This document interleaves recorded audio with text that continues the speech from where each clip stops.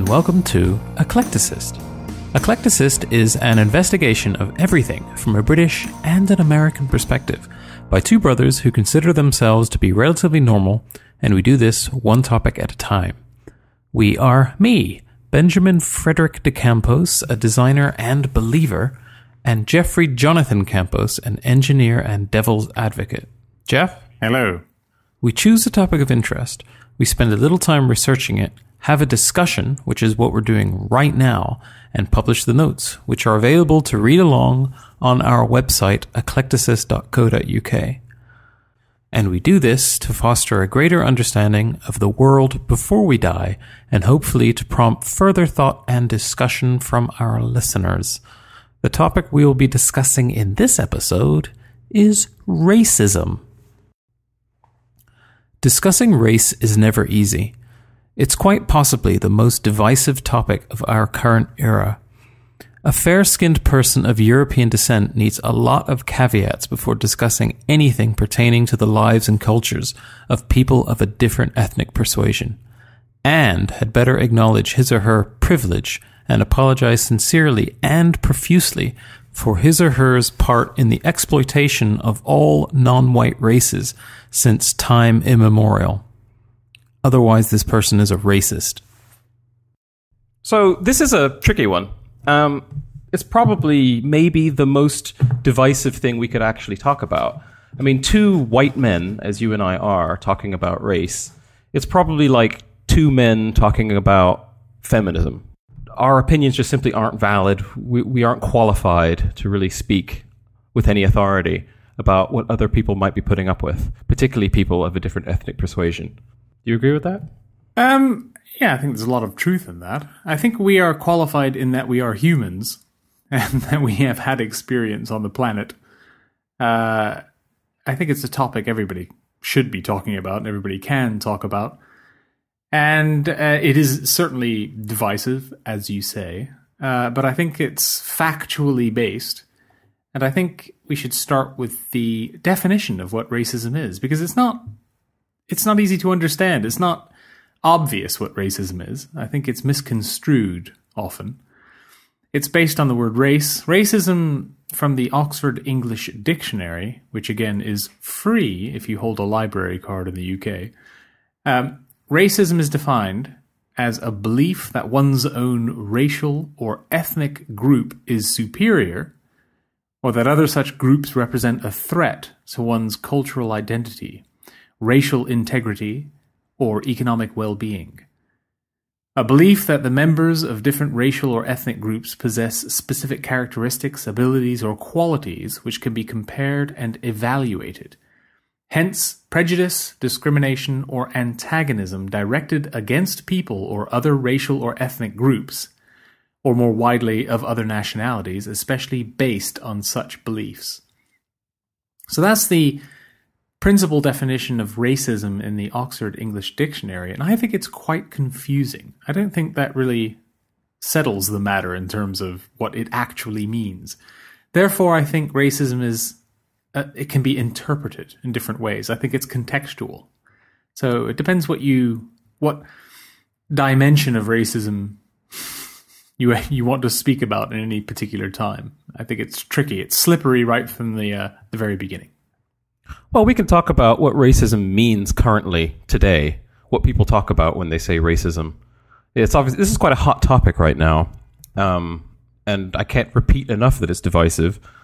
And you're simply wrong saying we're qualified to talk about it because we're humans, because people just don't see it that way. I mean, technically, you're right for sure.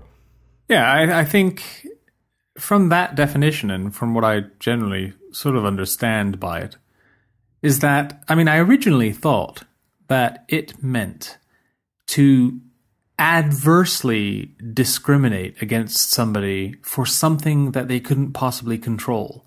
So if you're born with a particular attribute, to denigrate that person because of that a- attribute is sort of a racist thing to do because, you know, what can they do about it?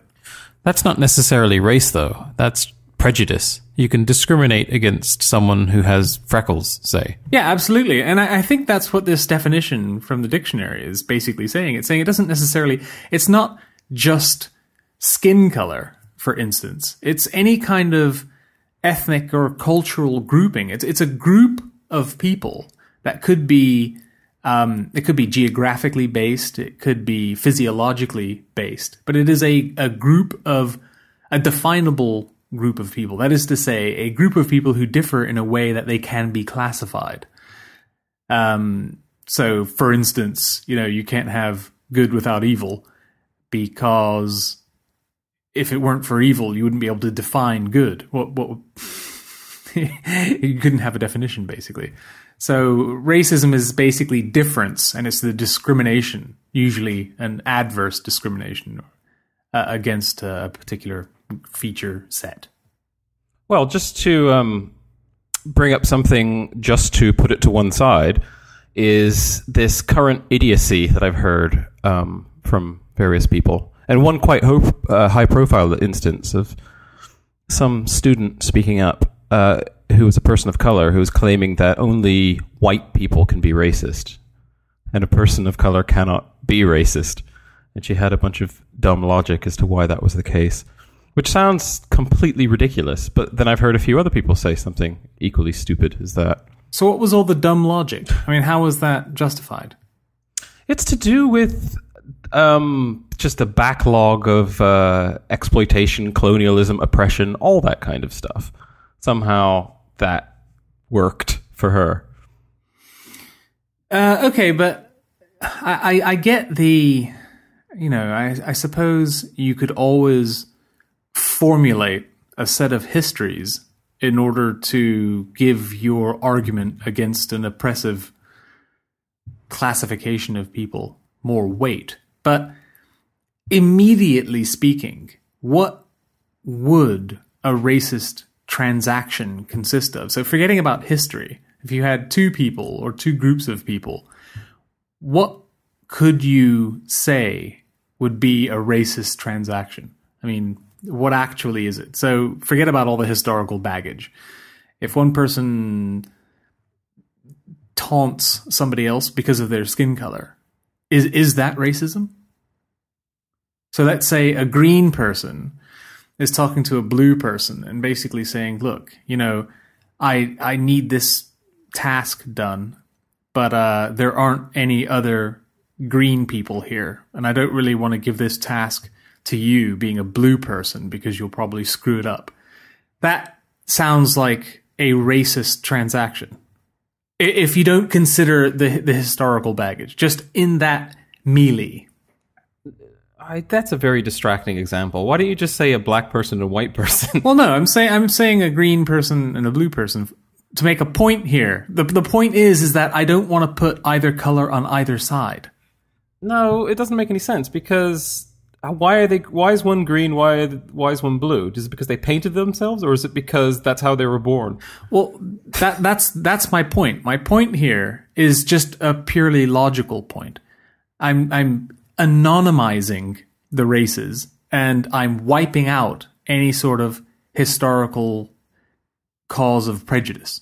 So it is a green person, it is a blue person. The green person seems to be disparaging the blue person is that racism? That is my question. Because if it is racism, then you can easily swap the colors around or put any colors there.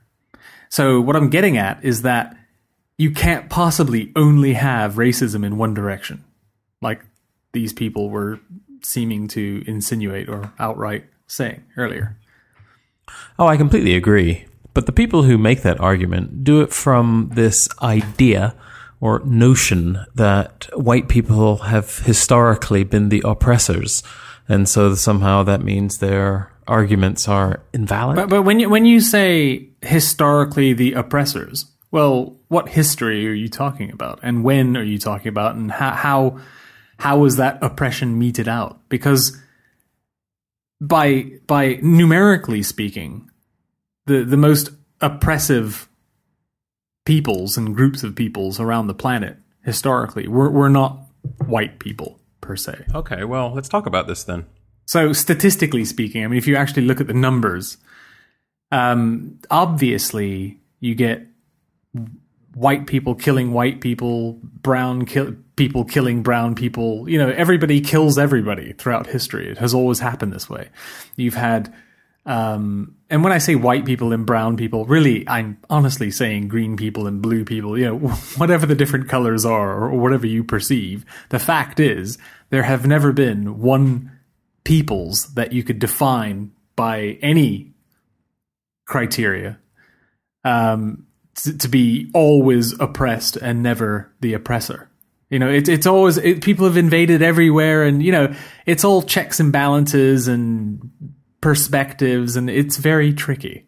Nobody is always the oppressor. The the way you're framing this is just very confusing to me because it's it's not an even playing field.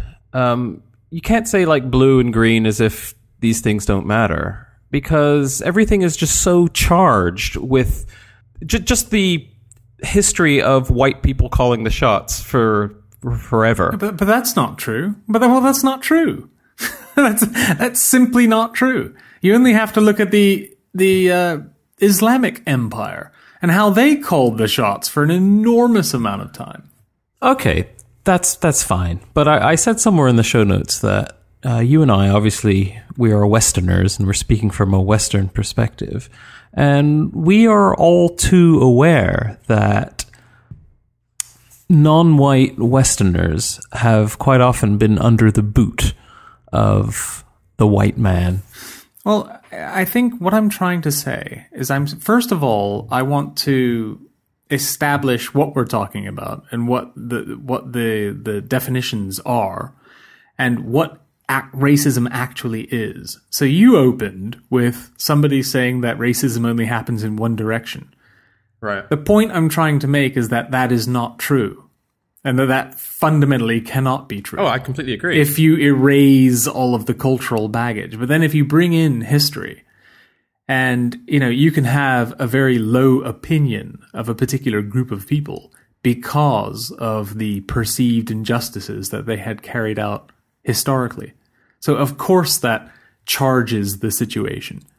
Um, and, and we're getting onto that now, but s- racism is simply a disparagement of a people's or a person because of their ethnic grouping or their physiological grouping or their geographical grouping. So my original feeling was that it was simply to be born in a way in which you can't help. But I think it's it's larger than that. And you can be you can be racially accosted for reasons other than your skin color or or you know the the religion you follow. I think it's a much larger term and it's a bit blurrier around the edges. sure. Okay. Well, let's uh, let's get into it. Should we just go through this systematically? Sure. Human human diversity. I mean, uh, you know, there are a lot of people on the planet, and they are geographically grouped together for enormous amounts of time, and that gives rise to specific features for different humans in different habitats. So we all know this. So people who uh, have spent you know a large amount of time in very hot countries like Australia versus people who have spent very large amounts of time in very northerly cold habitats like the Arctic look different. I mean, they, they really do look different. And from from the perspective of people who do not belong in their groups, they look quite similar. So there are, you know, a high level of homogeneity in the Inuits in the Arctic, and there's a a similarly high homogeneity as perceived by other groups of Aborigines in Australia. You know, they look very similar in their groups, and they look very dissimilar between the groups. So this is a basis for racial evaluation. People look different. You may not like the way they look. You may fear the way they look. you may like the way they look. Uh, but definitely, people having spent a very long time in different habitats will tend to look significantly different. Not different in terms of the species. You know, we're all so amazingly close together as humans. It's hardly any difference at all, genetically speaking. But there are differences. And we're very attuned to these differences because we're very attuned to what humans look like and what we look like. So definitely different people look different. So this, I think, could very well form the, the basis for, you know, racial um, transactions and, and, general um, consideration between different people. You know, the first thing you see when you meet somebody is you see that person, usually visually, if you're not blind and you can instantly classify. You know, we're designed to seek patterns. We're designed, I think, for in group preference. So, you know, we generally, as a rule, prefer our own. And when we think of our own, we think of people who we immediately compare with ourselves and our kin.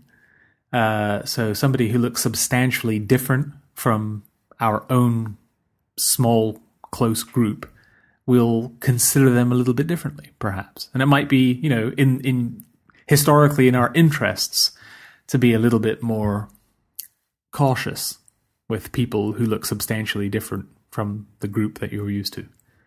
Uh, so there is variation between humans. There have always been variation between humans, and only relatively recently have we had a, a high degree of integration. When you've had people who have spent generations and generations and generations all around the world coming together and living in the same cities and you know these super societal structures that we've built relatively recently so diversity. I think diversity is important to remember. I mean we certainly are not all the same in in you know in every way. Uh, we're different people. Uh, i was reading that uh, the most ethnically diverse country in the world is Uganda, and the five top diverse countries in the world are all African. And the least ethnically diverse and genetically diverse is uh, Japan and Korea. They're very, you know, the group is very similar there. So, um, I think it's important just to uh, to recognize this fact of human diversity. That is a fact. We are not all the same, and it's not just physiological. It's also um, uh, intellectual. You know, you can have uh, an Ashkenazi Jew who uh, are the, I suppose you could say race, but the group of people who seem to do the best in sort of high level IQ tests, and then you have people like the Australian Aborigines who who fare terribly in IQ tests, and they generally have you know IQ a general sort of IQ value that is uh, you know twenty or thirty points lower than the uh, the Ashkenazi Jews. Yes.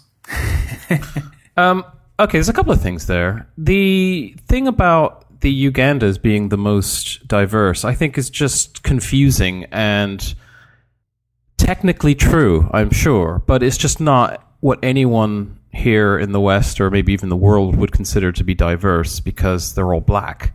So, I mean, how diverse is that?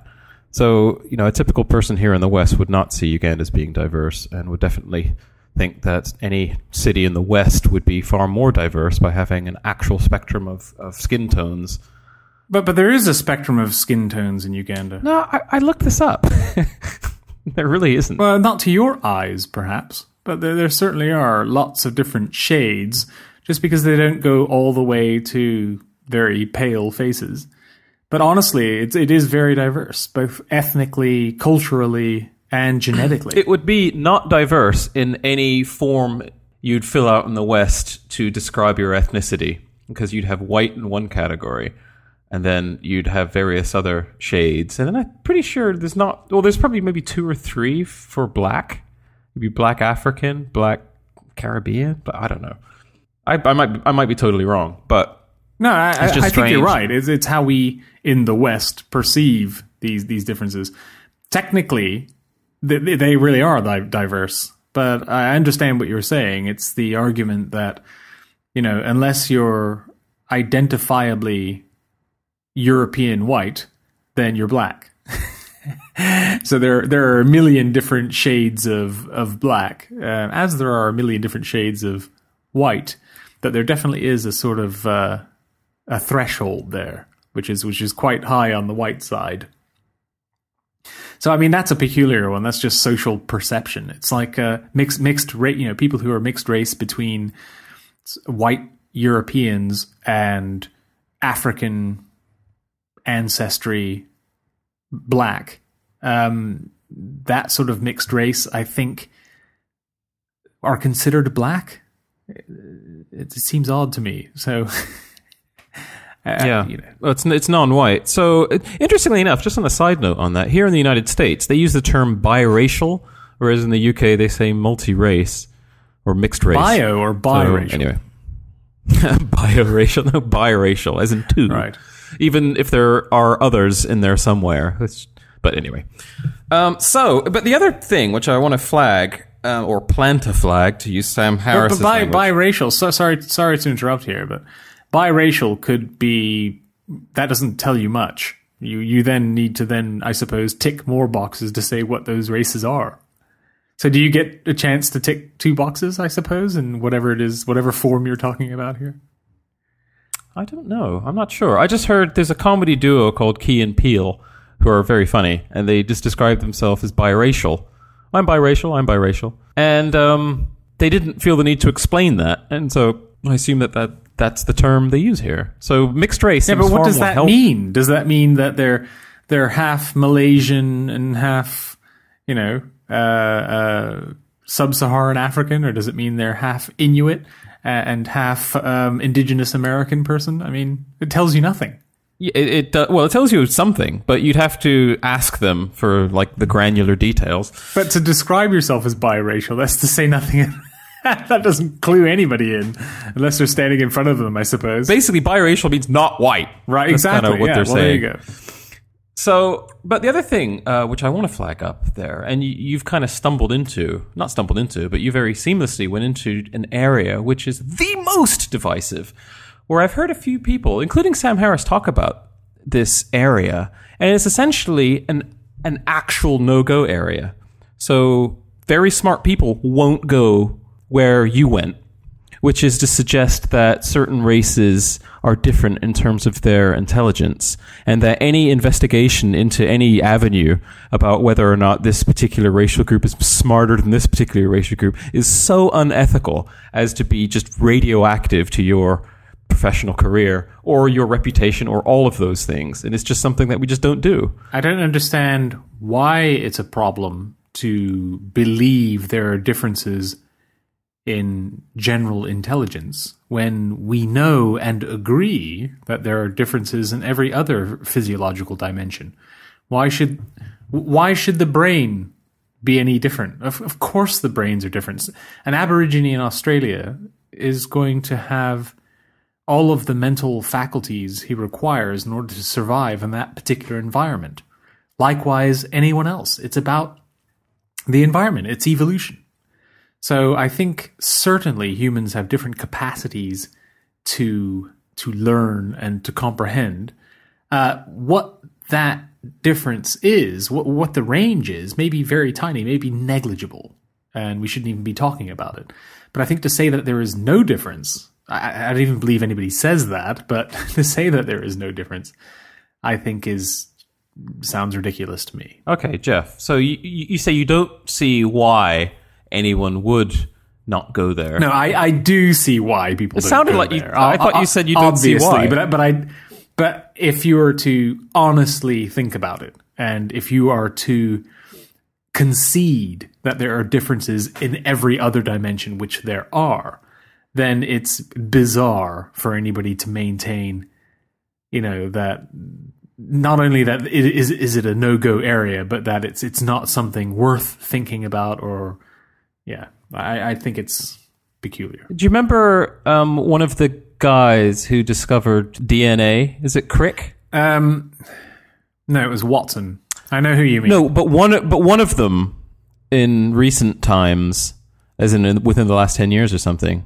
If you see, I don't know, uh, you, they both might be dead now. I'm not sure, but one of them kind of was ostracized for talking about deficiencies in certain ethnicities, Uh, mental deficiencies. Do you remember this? Yes, I remember. And I think he it got to a point where he was so embargoed that he had to sell his Nobel Prize Really? in order to pay for his retirement because of comments along the lines of I think he was interviewed about the prospects for Africa and he said that the prospects are grim.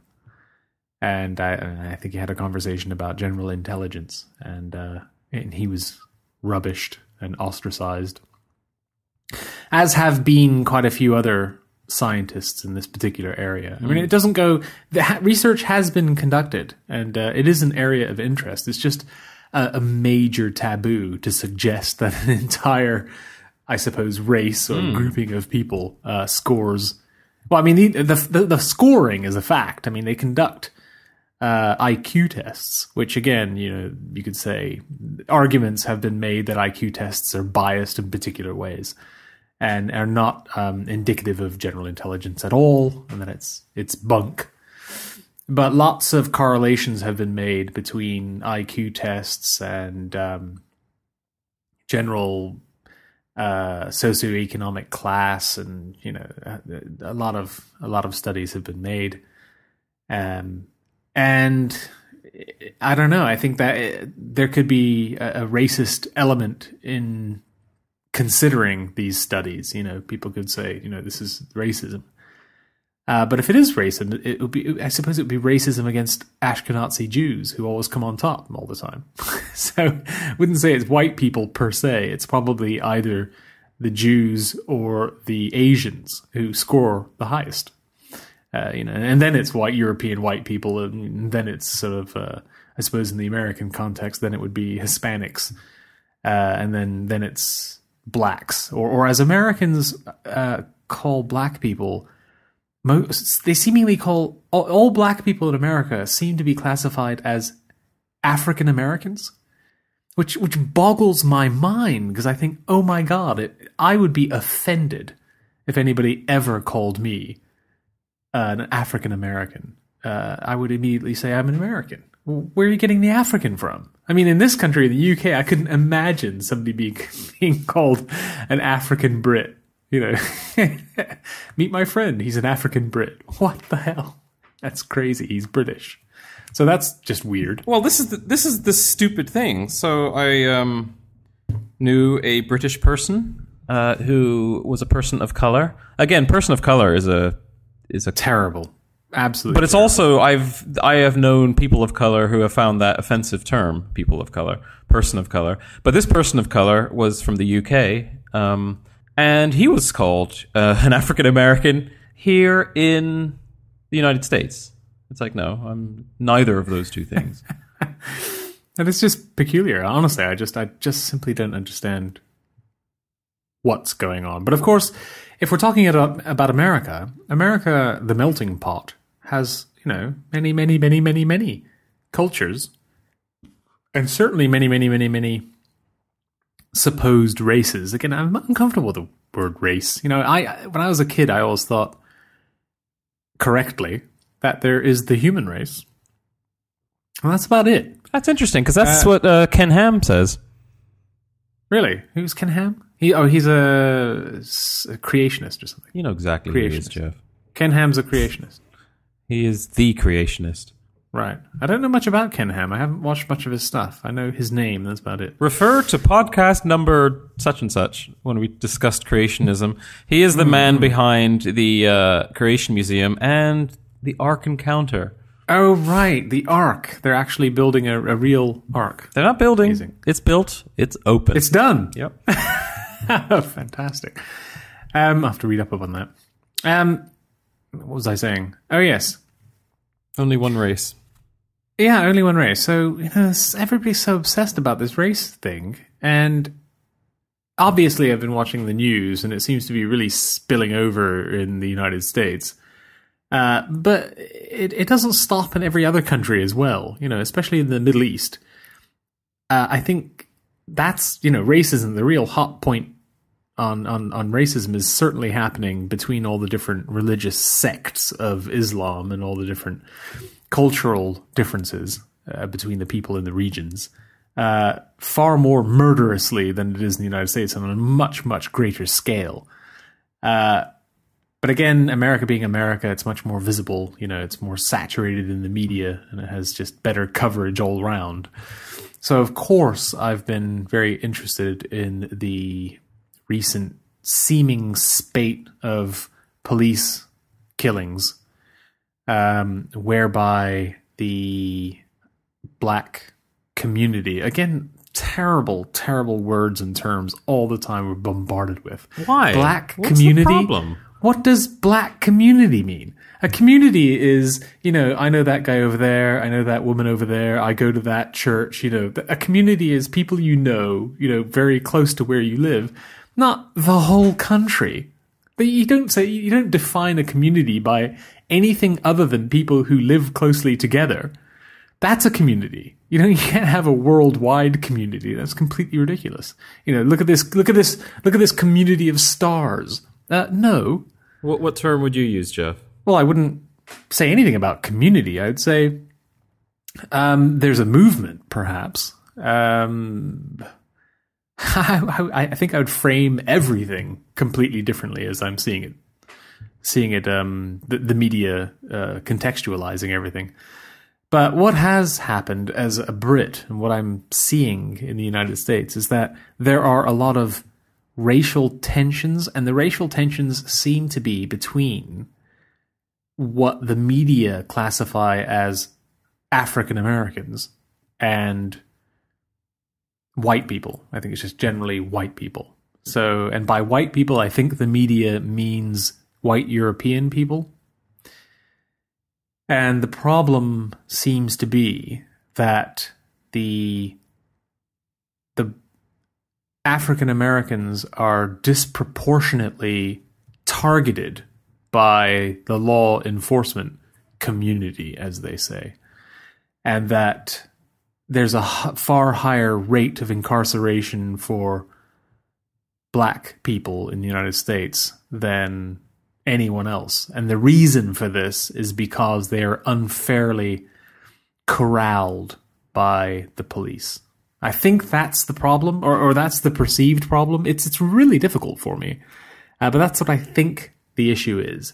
So when there is a policeman who kills a black person, that's major uproar and you know big news on the, media. You know, really runs away with it. It's a real huge story, but we don't hear anything about anybody else being killed by the police, particularly not in the UK. So when white people are killed by police, which I think they are killed by police more than anybody else, num- numerically, um, we don't hear anything about that at all in the UK. We only hear about the killing of African Americans. It's a crazy game of skew because um, out of all of this, I didn't know that the police kill that many people every goddamn day.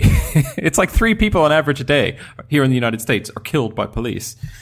And sure enough, it's only when there's a kind of a racial element do does it kind of get spun to the media. Um, it's not always necessarily white people killing black cops. It's like, for example, a, a very famous one.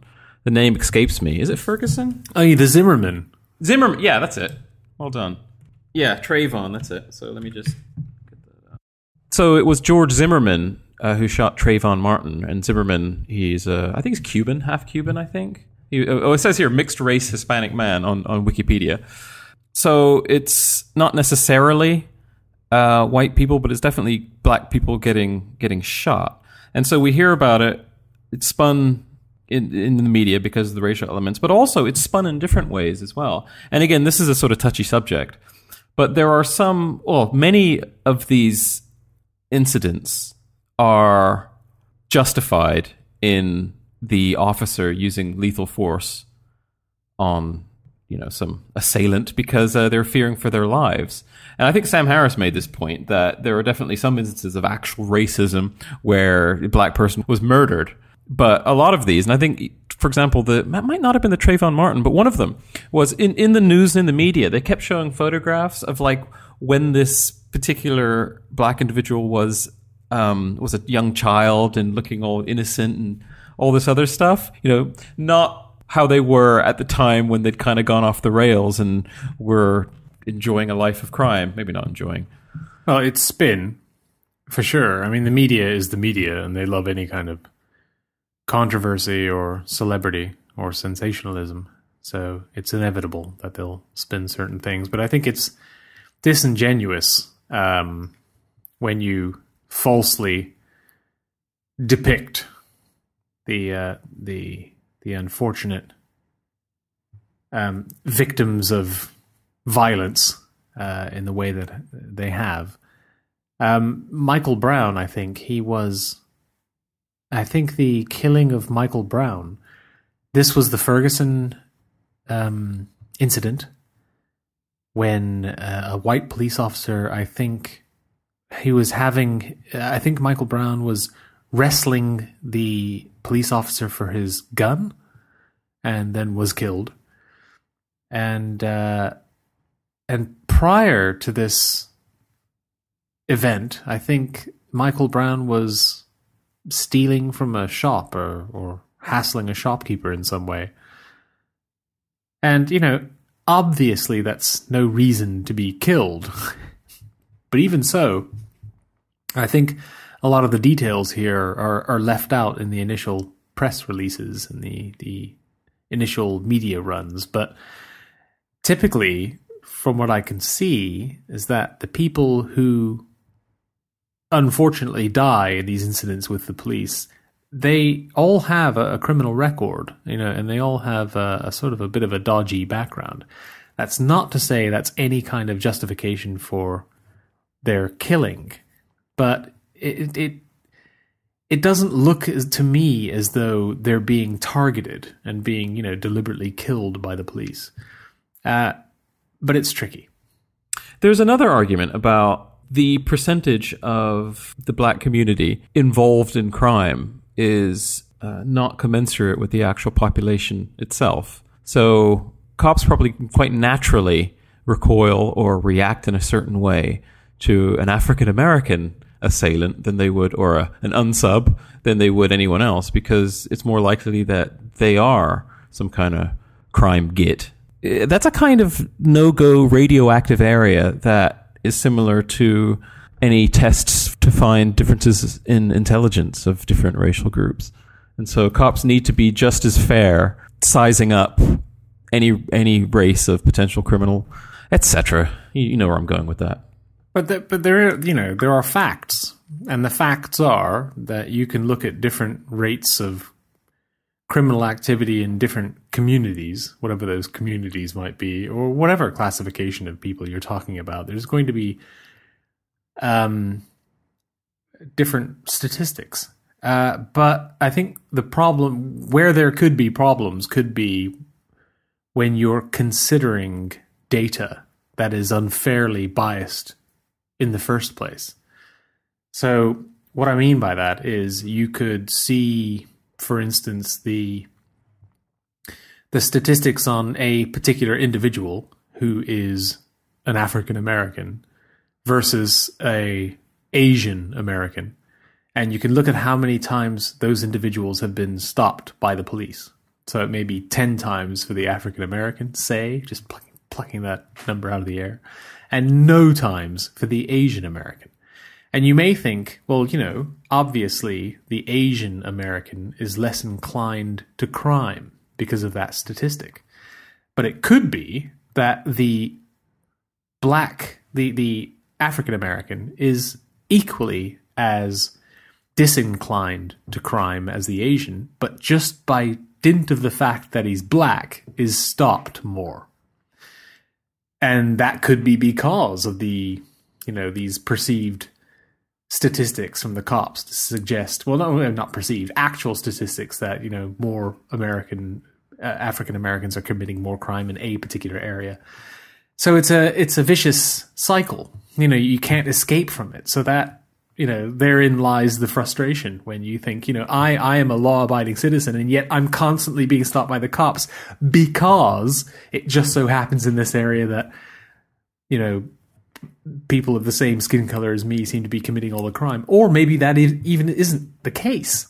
And yet, because you're black, you're being stopped because of maybe a national statistic that seems to uh, to suggest that. So I think there certainly is a case to suggest that darker skinned people, especially again, I don't like this word, but I'm going to keep saying it. African Americans are unfairly uh, treated, and this leads to uh, a, a, skew in the statistics uh, by law enforcement, and uh, and it does seem like a vicious cycle. And I think there are a lot of other factors like um, welfare and the availability of social welfare. Um, you know, doesn't necessarily help uh, more impoverished communities. Uh, so there's a wider sort of political argument to suggest that uh, this, this the status quo is is not in the favor of particular peoples.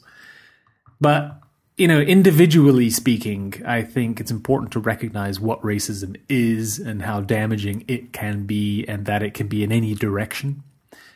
Uh, and institutionally, I think it's important to be aware of racism. So, institutional racism being a sort of biased consideration of racial features baked into policy, actual actually part of the rules. Uh, and again, we must absolutely recognize that because most people, I think, would agree that that's not where we want to be. We don't want um, Jim Crow coming back uh, to the United States and you know having all of these segregation laws again. You know that would be terrible. So integration, I think, is important. Uh, isolation is a bad thing, um, and recognizing uh, when injustices are when there's a potential for injustices, and uh, so I think generally speaking, most Western countries seem to be making progress in these areas, and I mean, I personally never see any kind of racism. You know, certainly not conspicuous acts of racism that I can recognize. You know, if there is racism that's going on, I, I'm, I'm honestly not noticing it. Well, here's the thing, white boy. You are white and you have been enjoying white privilege all your life. You just don't even know the kind of stuff that goes on around you. Now, I had a very heated conversation with someone where I just simply had to acquiesce because my opinion was invalid speaking as a white person. So I was making the point, and this is to a person of color, a, a quite privileged person of color who had a lot of um, wonderful benefits that only a rich family and good circumstances can afford you. And she was incensed that I suggested that me, as an American boy, put up with more grief in my British school than she would have done. Because if you are a person of color and someone is being overtly racist towards you, authority will discipline that person and make an example of that person because it looks bad on everyone. But if you're nasty to someone who's an American, good. A white American, yeah, great, go for it.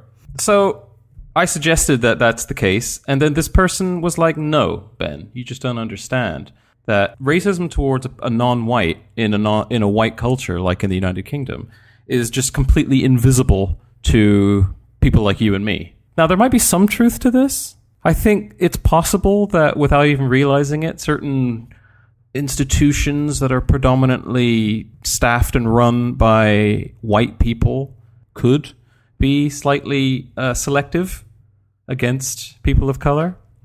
I don't know. But apparently it, happens all around us.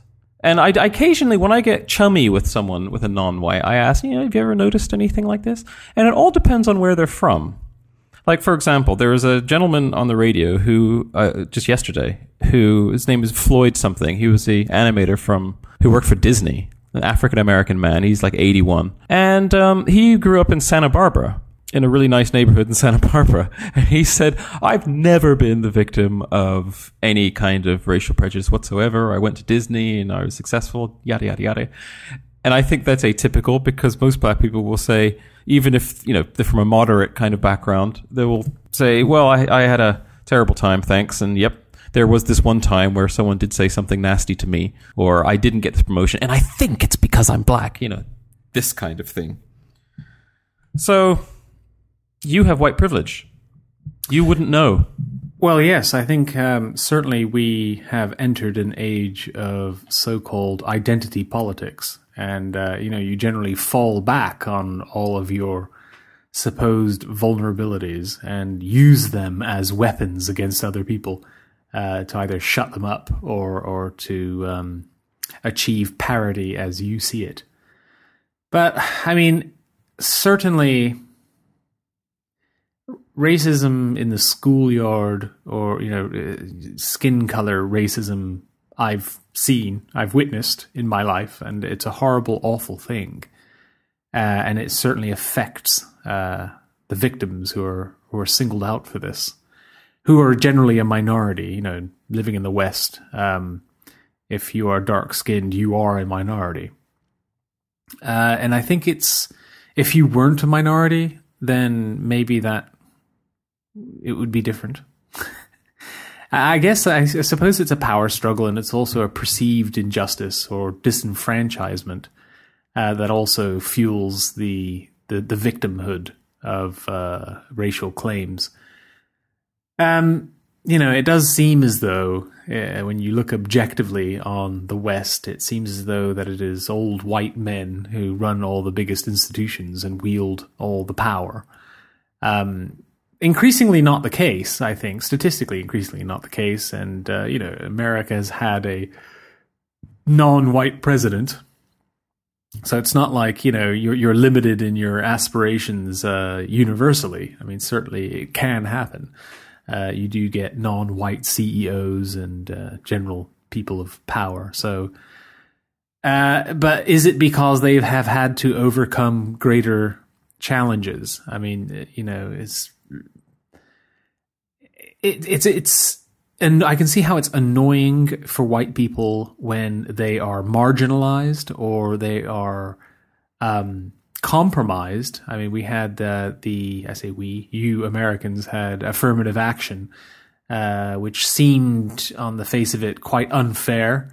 It was a, a sort of a, an idea to it was sort of recompense or some kind of uh, restitution, uh, but it was imposed on people who had nothing to do with ah, but, yeah, the crimes of the past. No, but this is interesting about affirmative action because I'm pretty sure affirmative action, just uh, not under that name, is prevalent in the UK. I think the BBC is probably a good example of that. Um, they, they, have a quota, and I'm sure they will overlook um, a white man um, or a white person to get uh, some some type of minority in there because man, that looks good for the BBC. So that's discrimination. Yeah, I think organizations are very open about this, and I think, wow, if, if we if there were you know if you turned it around, it would be there would be blood in the streets. Like like Apple Apple, I was listening to um, uh, an interview with some senior Apple executive, Apple computer, and he was talking about diversity in the workplace at Apple because Apple has always been historically very white indeed and certainly almost completely male. And they're trying to overturn this and they're trying to increase their diversity quotient. So they're trying to hire more women. Um, and they were saying, you know, the, the, the balance between men and women in the upper echelon uh, of the executive suite is still you know 75% men and 25% women. And it's not it's not good. You know it's not good but we're working on it. You know we're really working on it. I'm thinking well, well there you go. surely it's you know that that's how it is. And you know we're trying to make our our our escalation process more meritocratic. And you know if more women appear uh, well then that's great. Uh, but you know our processes are no longer biased towards a particular gender or a particular you know perceived race Uh, we just want ability. It's about ability, not about we need to get more women in. You know, regardless, we we will hire the women even though they're not as competent as the men that we're currently interviewing. You know, hire the best person. If all the best people are green people, well then you know, that. the issue That's is somewhere stupid. else. Okay, Why a couple of things stupid? there. Why is that stupid? no, it's stupid when you say green people. Yeah, but why? Because Well, there are no the green reason, people. The reason why I'm but, um, because I, Jeff, I'm Jeff, no, no, no. deliberately don't try and shut me down. I'm going to shut you down. The reason why the reason why I'm saying green people is for an obvious reason. It is forget about all the existing attributes that you can possibly target or discriminate against. Make one up because it is simply a placeholder for any particular attribute you want to use. It doesn't work. In the same way, it doesn't work when you said if the tables were turned, there would be blood in the streets because it's not an even field. It's just like white is just so low. It's so base. Everything else is better than white. So you can't say, oh, green and blue or whatever, as if any color is the same as each other. That's that's exactly precisely what I'm not saying. Well, I don't I am not. you I am. Yeah, clearly, I'm not saying that colors are equitable in any way. All so I'm why saying, say blue and green? because Jesus. Okay, I'm going to explain this to you. The point I'm trying to make is discrimination against anything, whatever it is, is unfair in and of itself, and it, it is criminal in intent. It's not fair to discriminate against something that cannot be helped. So when Apple say, you know, we just we need to tick more boxes and get more people in, they're they're doing that for whatever that color or attribute is. It doesn't matter because it's perceived as underrepresented, whatever it is. so whether it's good or bad or it- it's irrelevant. It's just that it's underrepresented and we need to get the numbers up and we, we need to get whatever this underrepresented minority is. I just in. I understand all of that. okay. I just don't understand why you keep saying blue and green. in in the stead of saying anything else. So I don't so I don't confuse the issue by saying by choosing something like Hispanic. So you're saying blue and green to not confuse the issue. I'm not going to mention blue and green again. All right. Please continue. God, what's wrong with you, Jeff? Why are you so prickly? Okay. I um, wasn't prickly. You were prickly. No, you're you kept shutting me up. You just kept sh- shutting me up. Listen back. Listen back to it all. You're the horrible, awful arsehole who keeps insulting me and shutting me down as usual. It's you. You're the problem. And it's with you? You ridiculous like that you say I'm I'm the one. Just just listen again. Simply listen again and then honestly tell me who's being an arsehole. I'm simply making these uh, trying to build this analogy and you're basically saying rubbish, garbage. You're dumb. That's a stupid analogy. That doesn't make sense. You're stumbling into something. You're always negative, negative, negative, negative. You're totally the negative one. Just listen to it, listen to it back, and you just have all of these microaggressions against me that constantly go on about throughout the entire conversation. Okay. Yes. right. So j- th- this is kind of fun because um, this is a conversation like having a conversation with someone who's just permanently like on the edge of something. So like speaking about race with with a person of color, and because I'm a white person, it's like everywhere is just booby traps. It's like if I say something, oh man, I'm gonna get it. So no, I'm gonna ease off of that. And I, I've had this. I've had this conversation, and it's like any conversation um, that might be even remotely controversial. As I said at the very start of this podcast, there's so many caveats to make sure I don't trigger any kind of reaction here, so we can kind of like get things moving a little bit. So that was, you know, quite a good uh, example of of that. But that wasn't what I was going to say. What I was going to say was victim culture. And that's the one thing that I think I find just irritating. It's the same thing with this new wave of feminism. It's like there's a group of people who are so delicate and so fragile, You can't speak openly about these things because they're going to be damaged or something, or there's going to be heat in a kind of way that's totally non productive. I have heard people of color take issue with you know Black Lives Matter and all this kind of stuff because they don't want to appear as just being victims. You know, if they pull themselves up by their bootstraps, they want to be recognized for doing that. You know, in the face of adversity, not to have all of these leg ups and unfair advantages and affirmative action and all that kinds of things. You know, we don't want your charity. The people who are the um, the angry brigade say, no, you don't understand. Whether you realize it or not, you are being oppressed. You know, even if you say you're not, yes, you are. And I think that is actually quite a destructive thing. Yeah, I, I agree with that. I think uh, th- a lot of people out there are being disenabled by people who believe they're serving some sort of just war on their behalf and are effectively saying it's not you, it's the way you're being treated, and you need to get more from someone else in order to get to uh, that level playing field. Um, as opposed to, you know, everybody needs to look inward and work out exactly what their own problems are, and then maybe they'll have more accountability, which will be more motivating for them in order to, you know, get to the to the same place, but by personal means. I think this whole victimhood thing and the social justice warrior um, movement that seems to be going on, where you know the absolute worst possible thing you can do to somebody is to offend them, uh, because they'll be you know damaged by it, and uh, they'll need their safe spaces and hug rooms and all the rest of it. Uh, it sounds uh, a, a, real retrograde step in the development of everyone.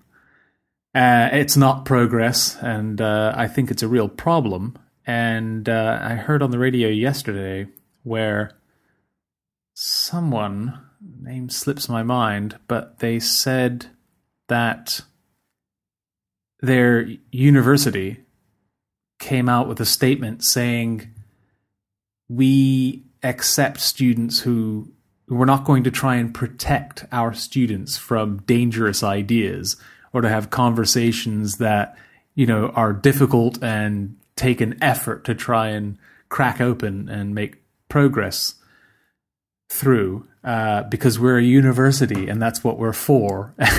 And we want to we want to um, encourage uh, discussions uh, wherever they might lead and I thought, mm. hey, that's great. That's exactly what you want to hear because that's exactly what institutions of thought and learning should be for.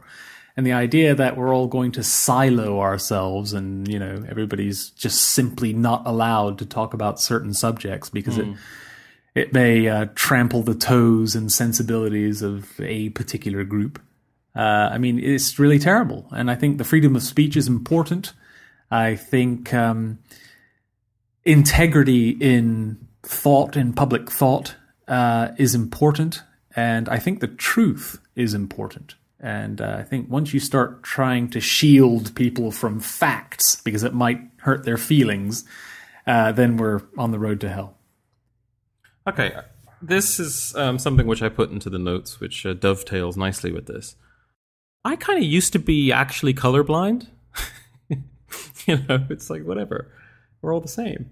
It was only until I had things pointed out to me that's oh, I see. We actually do need to build walls between us because uh, you know we can't get along. Oh, silly me.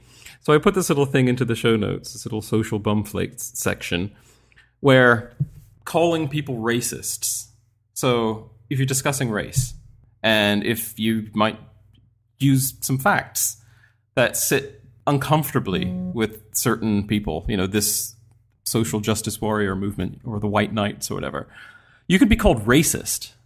And, you know, that, as Sam Harris has said, you know, that's like raising the bogeyman of racism. It's like, oh my God, what have you done now? So it's obviously devaluing and debasing the word racist because obviously, you know, racism exists and there are people who are actually victims of race, of racism. And to be called racist because you're just curious or you might have an opposing view, but you're you're not just sort of being racist. you're actually kind of using actual facts or just just curiosity. And so there are people who call people racist. And a good example of this is when Ben Affleck called Sam Harris and Be- Bill Maher racists. Well, as in he said what they were saying was racist. It's gross and racist. And this has now become a relatively famous meme or an infamous meme on the internet. That's gross. That's racist. And it's just, you're just shutting someone down. It's like, I don't like the sound of what you guys are talking about. I think this is racist. And because obviously Ben Affleck is a well known an um, actor who obviously has a lot of people saying he's wonderful and he's worth a lot of money, he's a bankable star, then, you know, he's not used to, or he doesn't need to listen to the nuance of what people are talking about. And so I think people like Ben Affleck and a lot of people who shut people down by calling them racist, they do it for reasons which are scoring points with people of color or scoring points with people who want to score points with people of color.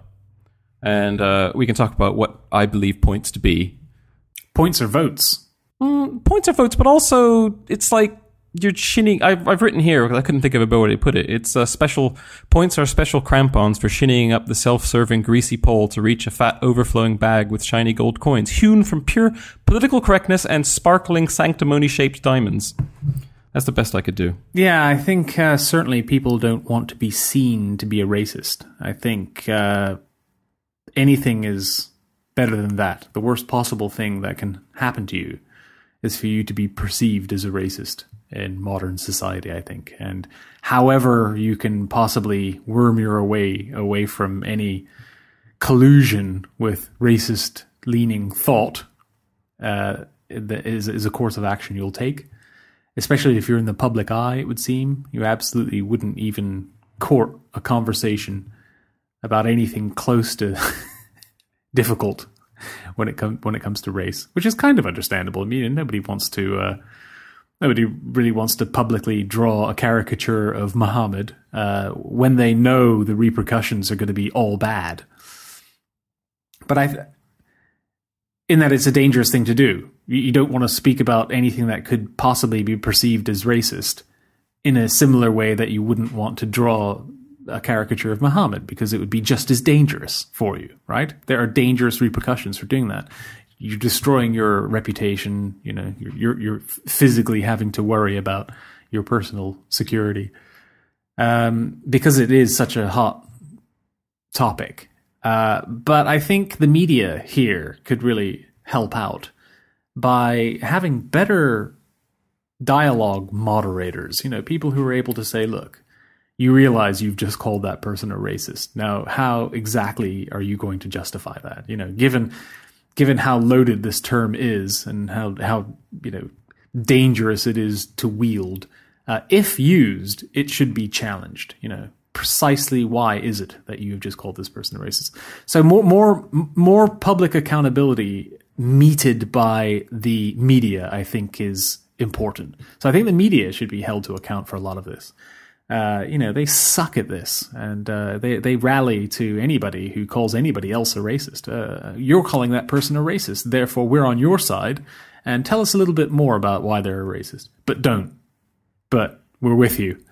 Yeah, no, exactly. It's it's but don't, and it's then that person is a racist. It's like why is he a racist? Yeah, racist. So it, it, You're it's racist for asking that question. Term, and I think it's it's stirring up. I mean, the media again. This is what they do. They like to stir things up and they're they're dangerously stirring things up. I mean, we have the Black Lives Matter movement, which you know you could argue is fomenting um, racial tensions and uh, and violence. Um, you know, some of the things that some of the, the events that have unfolded since their um, their founding, which I think was during the Ferguson event, the police killing where Michael Brown was. I think he was. I, I, remember reading that he was he was said to have been executed, sort of uh, you know murdered execution style, and that he had his hands in the air and he was saying "Don't shoot." Um, none of that was true, and yet the Black Lives Matter um, movement you know didn't didn't falter. It, it continued, and then just absorbed all the the uh, subsequent police shootings. Uh, and it just it's getting bigger and bigger, and now it's multinational, and you're having sit-in protests in other cities around the world at police violence and uh, you know targeting against against I suppose black people. I don't know what black people means in terms of Black Lives Matter. I don't know if it's just African Americans or if it's any non-white people. Uh, so it's a bit muddy there, but it seems to suggest that you know the uh, police police forces are institutionally racist, perhaps.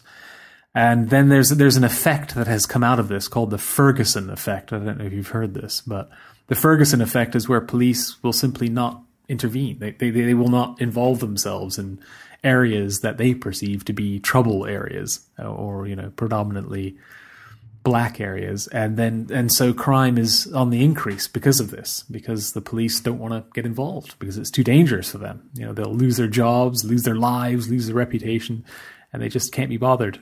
Uh, there's nothing in it, you know, there's just, just no reason to go near certain areas. And when you have quite segregated cities as there are in America, then this is a real problem because then, you know, obviously the gangs and it, it, it starts spiraling out of control. So bad news all round, unfortunately. Mm.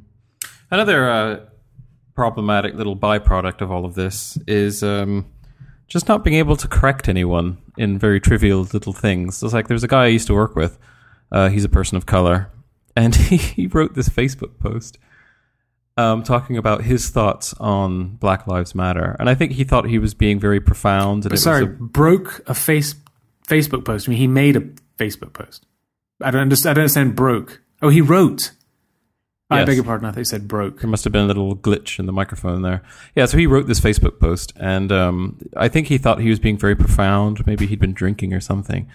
But, but because he's a black person writing this, it's just, hmm, yeah, great words. And one line of it goes, I believe Black Lives Matter. I, one day, all lives will matter. so it's like currently, currently Black Lives Matter, but all lives don't matter. But maybe one day all lives will matter. Uh, but it's like it's not a case where I could say, "Hey, um, that kind of didn't make any sense." It's just a kind of, "Oh yeah, yeah, way to go, man."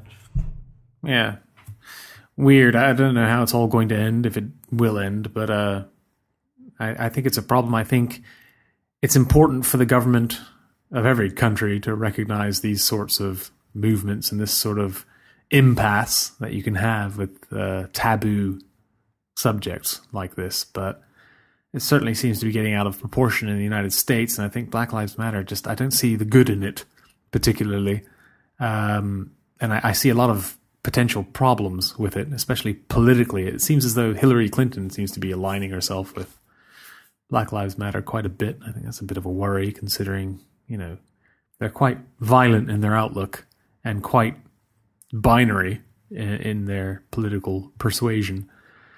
Anyway, I think certainly equality where equality, you know, the the the intent of quality equality is important. You know, you must want a fundamental um, equitable outlook for society.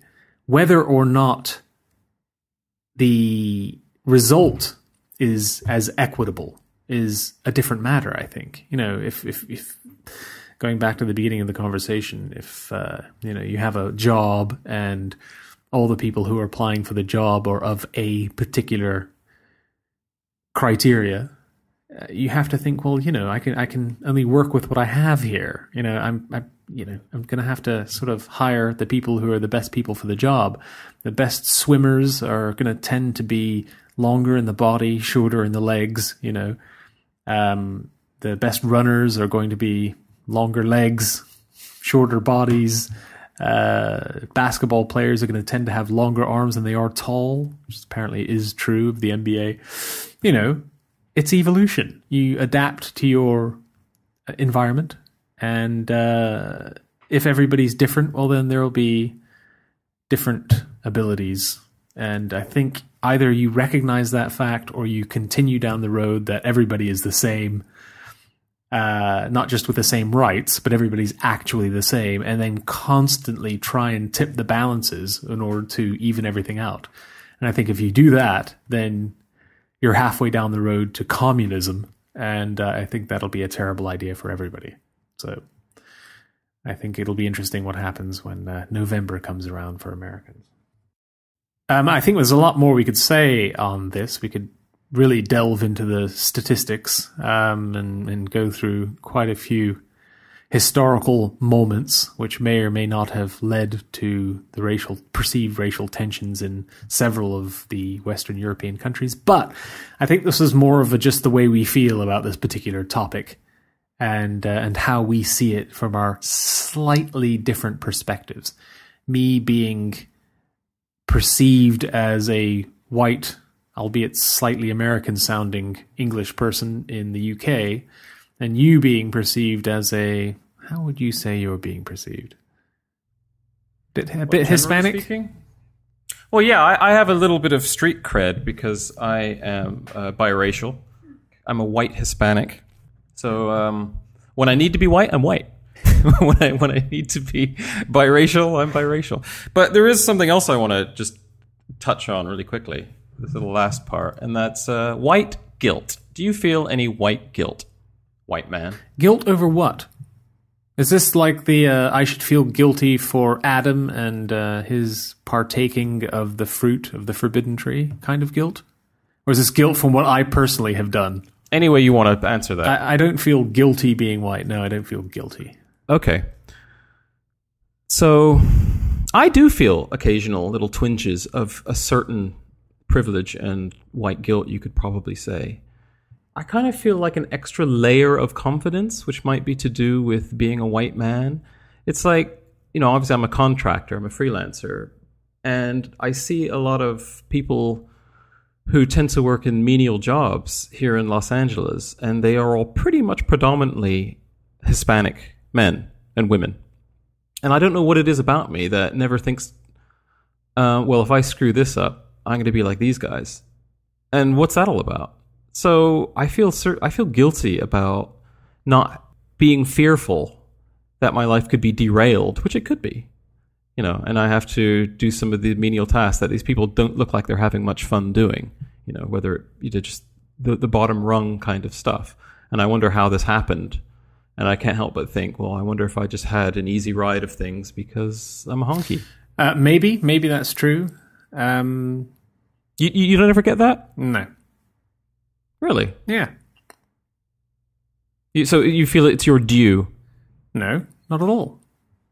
I, I don't. It, I don't see what there is. Do you understand what I'm saying? Not really. I don't really understand what there is to consider. What do you mean? Well, you say sometimes you feel guilty because things could go a lot worse for you, and somehow you don't countenance this possibility much. Um, I don't feel that way. I've never thought that, uh, and I don't feel I have any, anything as my due. Um, that, I don't see how that's related to any kind of guilt at all.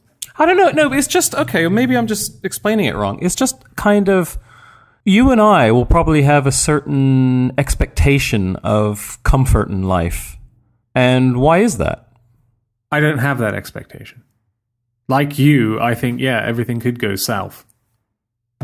I think I, I, probably have a lot of anxiety about the fact that everything could go really badly wrongly. I certainly don't have an expectation. Who the hell knows what's going to happen tomorrow? Hmm, okay. But it's in ter- in terms of race. I don't, I don't think in terms of race at all. I don't ever think.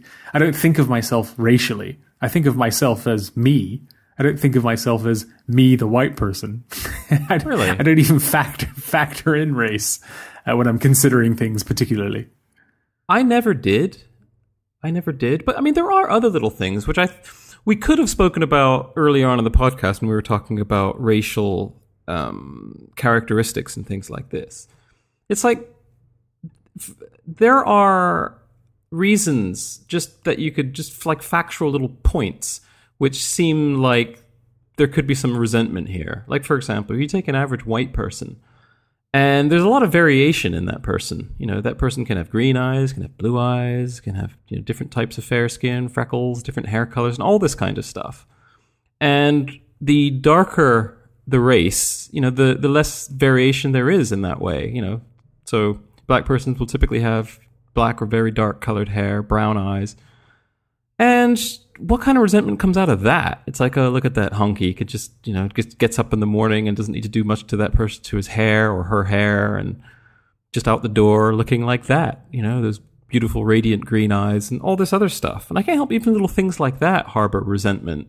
And somehow I feel kind of like guilty that, oh, here I am being the white dude with, um, with, with these kind of burdens.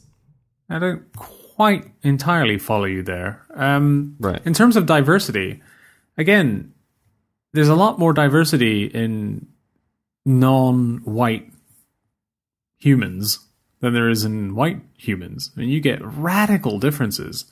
I mean, if you're talking about eye color, other, you know, genetically speaking, you have the sort of blue alleles uh, and you have the brown alleles, but the, the variation within the brown is much wider than the variation within the blue range. Um, I, I, mean, you know, you know, black people. I guess when you think of African Americans, you sort of think of, you know, North African black ancestry. But you know, there are you know the, the different. There's massive differences between East Black and West African black types. Uh, you know, enormous differences throughout the entire world of non-white skinned people. Uh, you know, there is an awful lot of diversity. I think perhaps in the West here we don't see that that much. We don't we don't realize there's that much that much difference, but there really there actually is. Jeff, here in the United States and also in London, it's you have this air of superiority for that's not true. But so you have the white people who could just come in all different flavors. But then you have the other races. And here in the United States, just as I remember in London, it's like 99.9% will have brown hair, will have the same kind of brown eyes um, you could say that for a lot of different races, but I just I'm just saying this is one little background component to fuel some kind of resentment and maybe some white guilt on the other side. I don't know. I'm just throwing that out there. So, oh, so you think um, non-white people resent white people for being white physiologically? That they they would they themselves would rather be white than anything else. No, I'm not saying they would rather be white. I'm just saying um, it's like having a car with more optional extras. So you can have the basic model, which just you're stuck with these types of uh, that type of stereo, that type of thing. But it's like, or you could have this other model which has all. You can have it in ten thousand different shades, and you've got a you know really wonderful radio or really boring radio, whatever you want. It's just that. It's just oh, fine, whatever. But also, I have heard noises about. Um, someone I know, a person of color, who has straightened her hair and has to like spend all this time in the morning getting her hair to look a certain way, and she's essentially trying to make her hair look like uh, like a Caucasian person's, you know, long flowing, you know, plenty of weight body, fling it around, all that kind of stuff. So I'm just saying, it's an understandable little um, potential element of uh, resentment that I'm cognizant of. Well, people are different, and I think that might go away one day. But at the moment, uh, they physiologically just simply are different. So I think the job we all have is to try and get along a little bit better.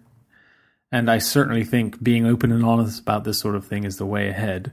And I think there could well be some disturbing truths out there for for all of us uh, that we're just going to have to try and get through.